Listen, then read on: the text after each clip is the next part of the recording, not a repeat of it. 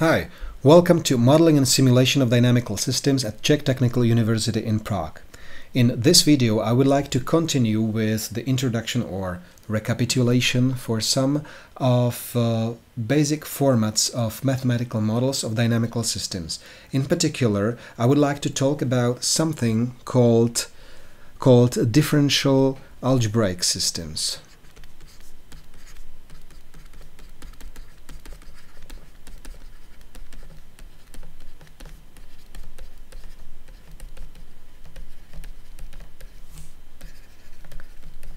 Also called in a pretty much shorter uh, way DAE.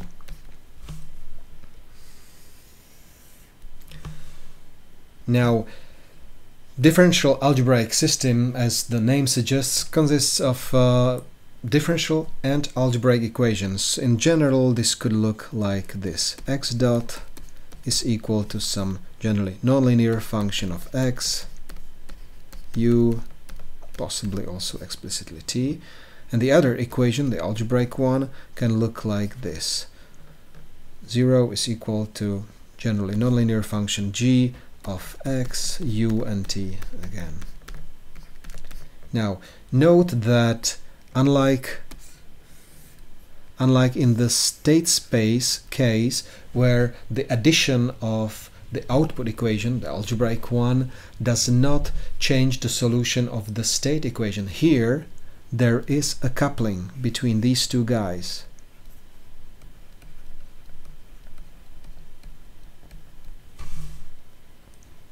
If you cannot see it immediately, I mean the contrast with the state space model, so let's put it here just as a reminder. So x dot is equal to f of x u t and y is a function of g of x u and t.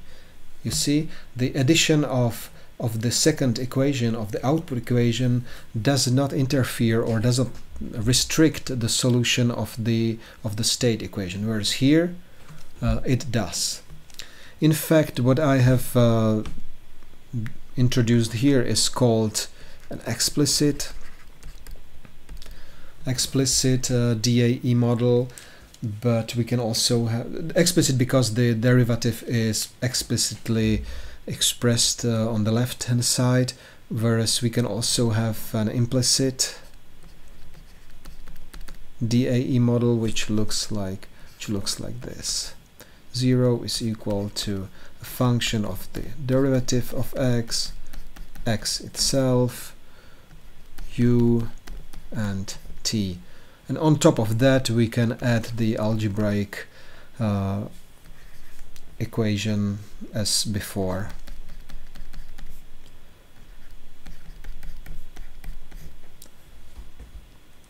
Now, in the linear case, this implicit uh, DAE model can look like this. We can have just a single, we can combine these two equations into just a single one, which may look like this. Matrix E times x dot plus uh, matrix A times x plus matrix B times U. Now for aesthetics uh, reasons I will put somewhat arbitrarily a minus sign here. I can do it. This was complete, uh, completely arbitrary. I mean the definition of E is uh, can include the minus sign, right? Why not? So let's now rewrite it.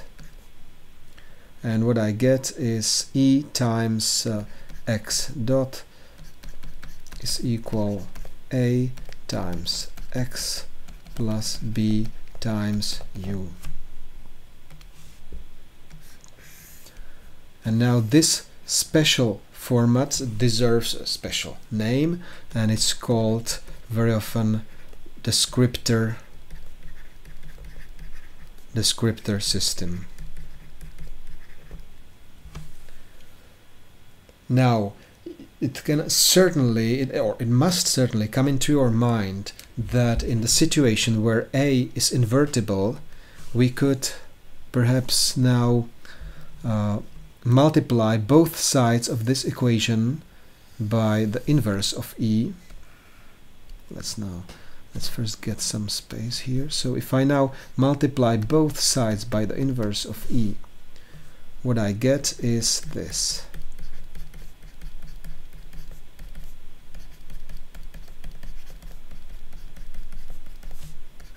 Now inverse times b u t. Now this will be an identity matrix.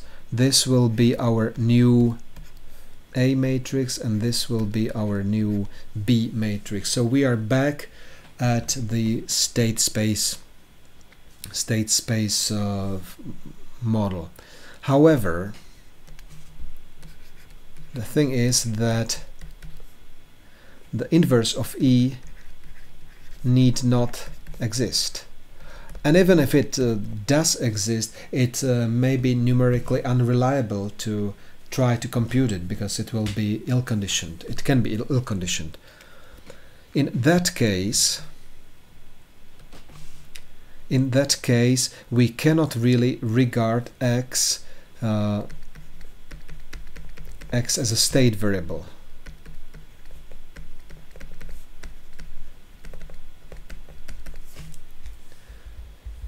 And remember uh, or recall what uh, what does it mean that a certain variable is a state variable, right? Uh, from the previous lecture, it simply means that then really knowing just this variable is perfectly sufficient to determine what will happen next. Uh, it's quite unfortunate that in MATLAB the implementation of a constructor for descriptor model, which is called uh, which is called DSS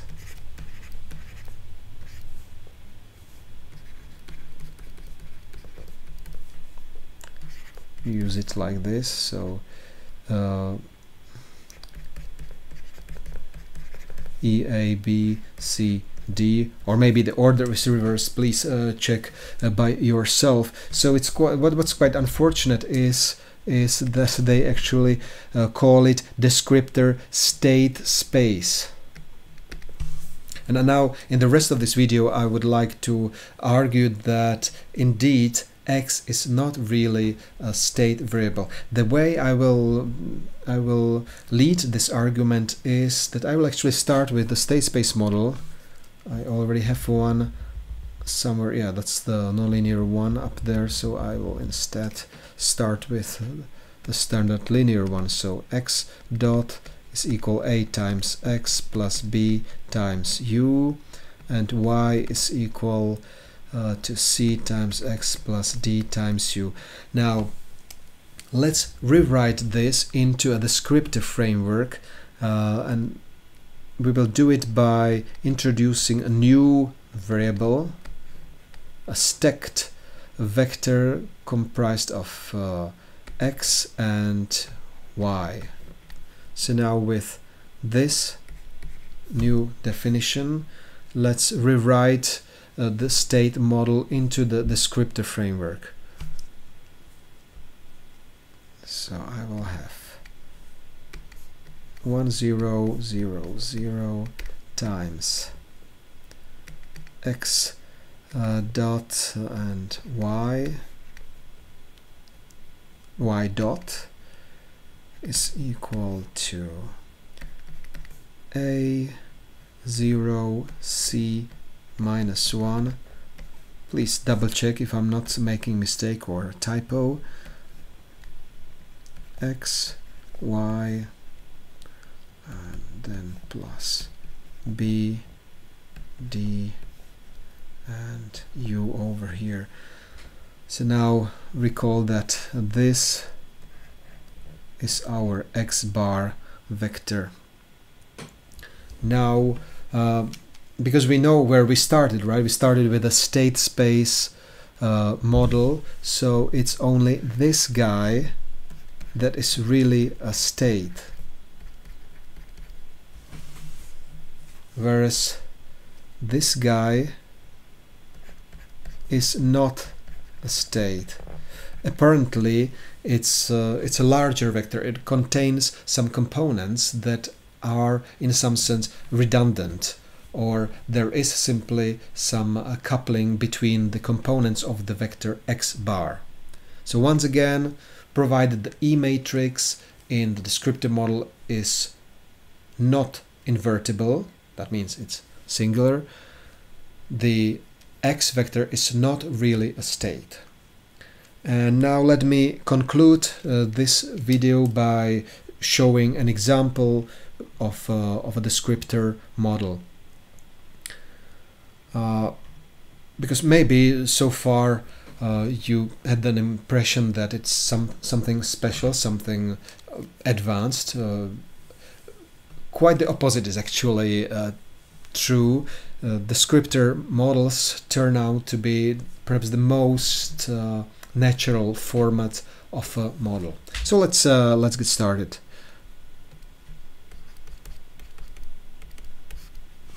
We will consider a circuit, a simple uh, linear circuit consisting of a bunch of resistors, an inductor and a capacitor and a source of voltage. So give me a few seconds to draw it. Uh, so first resistor second resistor. Here I will have an inductor and a capacitor over here.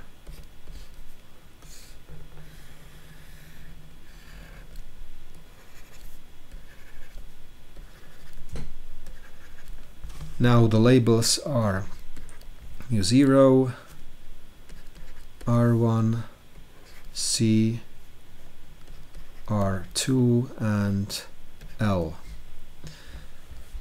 All right, so um, now I have uh, one, two, three, four, five, five components.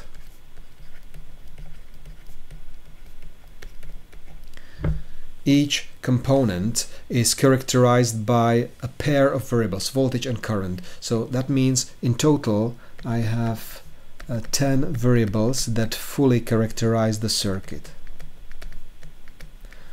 in order to solve for these 10 variables uniquely, I need to have uh, 10 equations.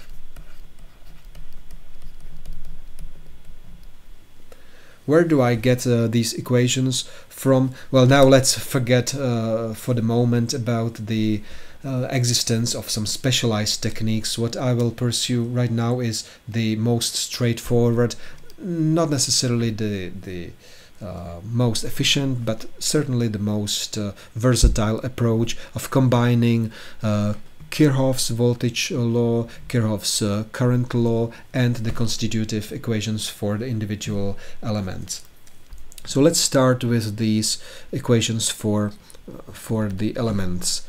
Uh, for the voltage source, let's say this is actually I source of a constant voltage. So u0 is equal to say 10 or could be could be harmonic uh, signal or uh, whatever you like. Then uh, how about the uh, resistor R1 obviously the voltage drop on the resistor R1 is related to the current that goes through it and it's the value of the resistance. Well before I uh, proceed let me perhaps uh, do what I should have done before and that is I will first label uh, all the voltages and currents in the circuit and uh, also add the polarities of the voltages and direction for the currents so the polarities will be just completely arbitrary so I will decide to to regard the voltages positive in this sense.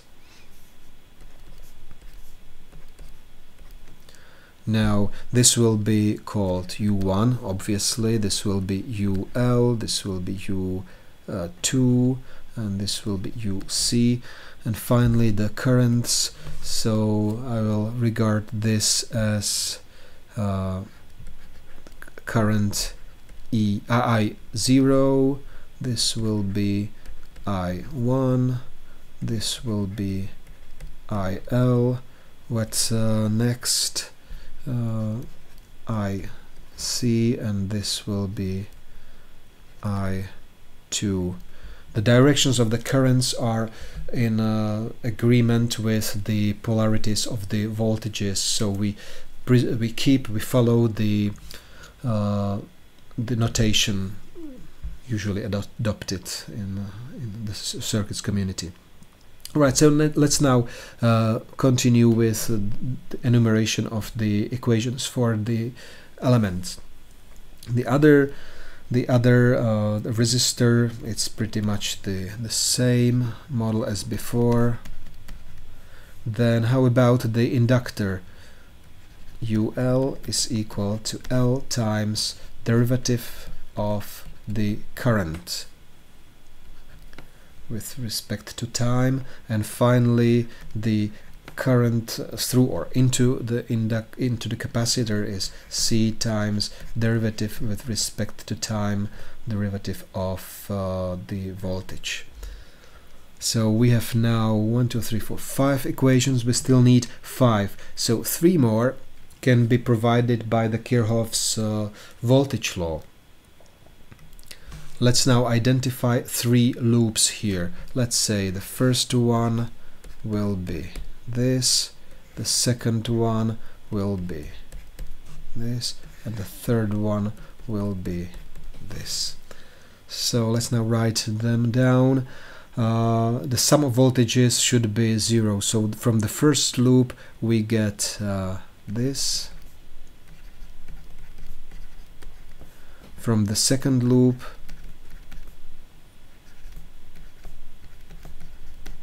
And from the third loop we have that u uh, c is actually equal to u2 and finally uh, the Kirchhoff's current law.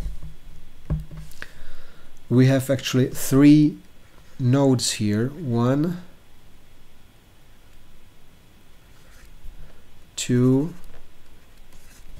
and three. However uh, we can uh, discard this third node as the redundant one. So we only need actually two more equations. So we will uh, write down the equations corresponding to the node number 1 and 2 and these two equations are i0 is equal to i1 plus il and finally i1 is equal to ic plus i2 and that's it now these uh, 10 equations immediately constitute a uh, descriptor model for our circuit. So you can see that it's it was really pretty natural to arrive at this model.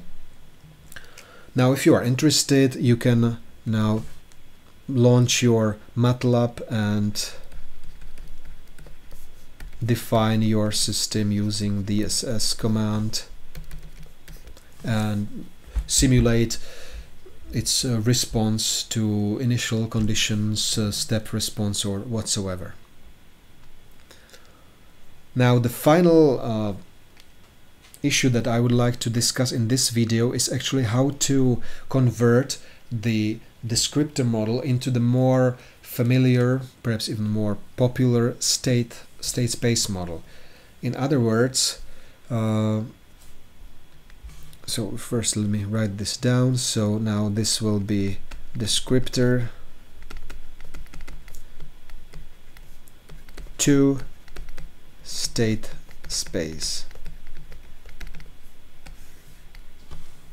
so what we are after is to write down a state space model with how many uh, state variables I only have two accumulators of energy, two derivatives in, in all these uh, equations. So just two differential equations. So the order of the system will be just two, and the state, the state vector will be uh, UC and IL voltage on the capacitor and the current through the inductor right? So this will be our state vector. And therefore what we need to determine is the A matrix and the B matrix or actually just a column vector because we only consider a single input the U0 and this should give us the derivatives of the state vector which is u c dot and i l uh, dot. Optionally if you if you like if you want to ident identify one of the variables in our circuit as the output one you could also form the output variable say if uh, i2 is our variable of interest. You need to determine this row vector. This our C matrix essentially. And just a scalar which uh, is associated with the input u0. Now, uh, I will not explain in this particular video how to do this conversion. I will only tease you a little bit by showing you actually the the result. You may you may try to to figure it out by yourself. So it will be minus r1 plus r2 over r1 r2 c 0 0 0 and I will have 1 over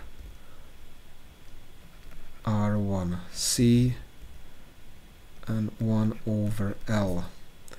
And for the output equation I will have 1 over R 2 and 0 and 0. Now I'll only show this result for you to, to be able to compare the results of simulation for the state space model and the descriptor model but uh, I would like to emphasize here that actually this conversion from descriptor model to state space model is or can be far from trivial because what can happen is that such conversion is simply not possible. In that case, we call we, we talk about uh, singularities in the descriptor model.